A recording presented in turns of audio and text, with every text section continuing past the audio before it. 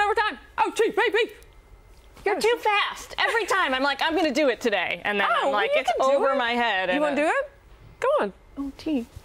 I'm, I'm psyched. I got to practice. I'll get better. That I'll get was better. worth coming to work for today. Actually, right there. Next time, I'm going to blow you away. So I- I'm mind blown. So uh, Chris, you're with us for the first time today, and I was flabbergasted by show them your bows. Whoa. Yes. He was coming in to Dropping do some bows on 'em. serious networking on Outnumbered and had to put on some patches. That's a real lumberjack right there. It is. It's hard to replace these jackets. A lot of lumberjacks and blazers. In D.C., that's the closest we get to lumberjack. with a little flannel That's on why the no bows. one should ever live there. the best way to hide at a Trump rally when they would come in for the press on the campaign trail, I would just run into the bathroom and take off my tie and like put my jacket around my shirt. Everyone else was getting rounded up. Tucker Carlson, they would always catch him in a second because Oh, he's like don't a foot take taller fashion than anyone. advice from him. no, He's a mess. What? He's a mess. I'm he's got his shirts kidding. custom made in Maine.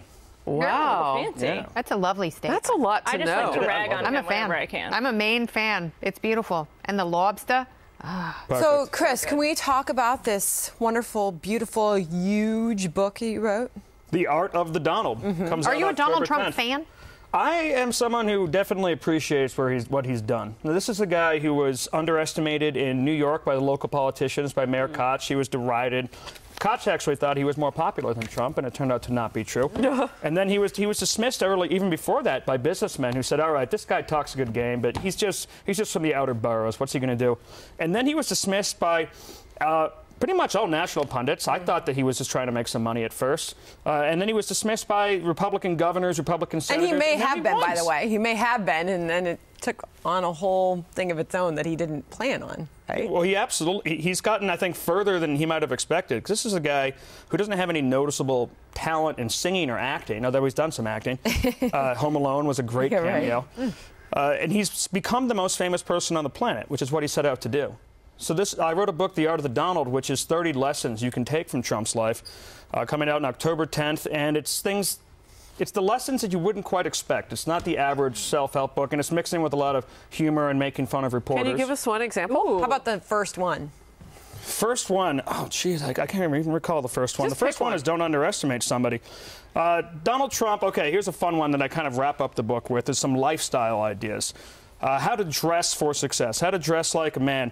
Donald Trump is someone who always has had his style. People have tried to dismiss him as being this Wall Street guy who's just trying to imitate from that movie, uh, Wall Street, get that Gordon Gekko look. But if you look back before that movie, he's always dressed like that. And the reason why he was able to walk into a diner in New Hampshire or walk into a gymnasium in Iowa and get along with people who had a Vietnam hat, Vietnam jacket, jeans, and boots on in that fancy suit, in that red hat, is because the way he dresses, he's actually comfortable. He's comfortable with who he is. Good point. He's not some, taking some focus group thing like, all right, I'm button one more I'm button. going to wear a cardigan now. Yeah, Or a wear- sweater vest. I love Rick Santorum. People wear this. Yes. Or talk But see, with that's, a certain that's what's so interesting is because um, throughout the entire presidential campaign, people would deride him for being a billionaire and snooty, but he was he was more capable than any other candidate of going into these places and these states and, and county fairs, and people were so excited to meet him and connected with him. Does that ring to his authenticity? Absolutely. Like so on the New Hampshire on the New Hampshire campaign trail on the day of the primary, we I got in there early for a front row seat for Fox and Friends in the booth there, and everyone was gathered in in snow gear. It was pretty cold, and Jeb Bush was alone at the counter, looking like a sad painting, and he left after his interview to the back door. And then Chris Was Christie he low came in. He, he was very low energy right then. I'll oh, tell you, I felt bad for the guy. And then Chris Christie came in through the side, and then he left through the side as well, right after his interview. And he's supposed to be the man of the people there. And then Donald Trump came in, and by the time he sat down with Tucker and Doocy, he knew the names of the cooks. He was ordering from the mm. back, being like, "Who are you voting Oh, for?" wow.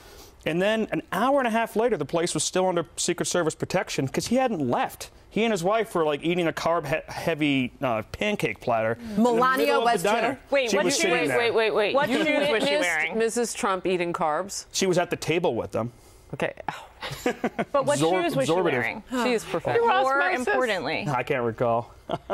Um, that was a joke. Secret Service wouldn't let me near anyone it. Didn't get it. No, but those are all. I didn't hear just- Oh, I said what, They're- what shoes was she wearing? Oh my goodness. adding to the authenticity was something even Hillary Clinton complimented him for in, in one of the debates. When asked to note something positive about her opponent, she noted his family, mm-hmm. and his interaction with his family seems to be very genuine. And he's a father and a grandfather, and I'm sure you probably wrote that in the book too. Yeah, because people derided him and they said that, you know, maybe he's got the modern American family. He's got two ex wives, a current wife, kids from all these different wives. He's also got something that is really noticeable. Now, amongst the super rich in fancy cities like New York City, there's a problem where if you, even with normal American families, at least one child, somebody somewhere in the family, you're going to have some issues at some point. Donald Trump's got a whole family, all of his kids, they all get along, they all obviously love him, mm. they, they can all be trusted to run his business. So he's, he's done something right. And even his ex wives seem to be getting along with him better than some people's actual Nobody husbands and ever wives. mentions the word that people have said so much about him and that we hear him say a lot, and that's the word love. Like maybe that's just Yeah, even when he talks about the dreamers, maybe that's just it. Maybe maybe it's that simple, right? Okay, I, I want to ask you something because this is a theme throughout his books. Never admit when you're wrong. Is that part of the art of the Donald? Absolutely. I think he learned that a little bit from Roger Stone, or at least it was cultivated in Roy Cohn, the old lawyer for McCarthy, who he met in New York City. Even when you're wrong, it doesn't necessarily do right to tell your enemies that you know that, that they're Very right. specifically in art of the deal, he said, "Never say you're sorry." and never apologize. I mean, they'll use it to hurt you, and he knew that. Remember, Mitt Romney wrote a book called No Apologies, and then the Yeah. entire campaign trail, he apologized for being wealthy, being successful, Right. having a beautiful That's why family. people didn't well, like then he him. went after the Yeah. president as a candidate, and then after that apologized. Oh yeah, well, he, he apologizes all the frogs' time. legs and marshmallows. That'll Uh, do it. The Art of the Donald is the book, and uh, no doubt you have seen kind of behind the scenes a little bit. We saw something on Outnumbered last week with the president and the first lady on the ground for the second time, third time, excuse me, because he did two trips to Texas after Harvey, and then he was on the ground for Irma last week. We covered it live here. What have you witnessed about this president behind the scenes that maybe you could share? Because it was interesting to see them come in. They paid for the food for that particular stop there for Irma victims. I think to your point, he walks in a room and he knows he gets to know everybody in the room, the names of the cook, the names of the people serving the food, and that says a lot. But don't all politicians kind of do that? Not no, they actually don't. And and I will not name names, but on the outnumbered couch, uh, quite a few of the Wait, presidential, that's just us here. but- but quite a few of the presidential candidates. Oh. uh, were, were Oh, guests okay. on the show, That's and there were Kidding. there were vast Let's not differences. name any names right now. No, we're not going to name names, but there were vast differences in comportment. Yeah. The way they held themselves, the way And, they like, talked to their the staff, uh, the way they engaged during commercial Oh, breaks, yeah, the little things about people that give you interesting, yeah. glimpses into fair. their their true character. By the way, we only have two minutes left, and topic number two was to ask Miss Kennedy about your big event this weekend. Uh, I, Oh, it's on. By the way, it's on the live chat. Like Oh, people are. Kevin Dubuque is saying congratulations Please on tell the, us. Oh, thank you. I did. Uh, I did a half Ironman, which It wasn't people who race Woman? it's it's it's a 70.3. That means it's it's 70 miles. There's a 2,000 meter swim, a 56 mile bike, and a 13.1 mile Ooh. run at the end. And uh, I've been racing triathlon for 22 years, and it's no matter what race you do, every race presents its own challenges, and you really have to overcome something. And last week, Sandra told me, don't let your mind out your body. And I always internalize a mantra uh, when I'm racing because oftentimes, and I've read this from professional athletes, that sometimes you have to go minute by minute in order to sustain your pace, in order to get to the finish line, because there's so much self-doubt. And I was I was at the the starting line with all these people, athletes of different ages and backgrounds and training levels. There was a little bit of self-doubt in everyone, no matter how much you've Yeah. trained. And, and Sandra was a Division One athlete at LSU and still hold the steeplechase record.